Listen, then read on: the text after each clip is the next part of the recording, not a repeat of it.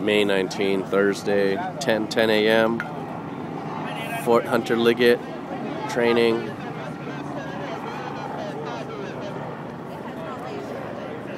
It's our helicopter class.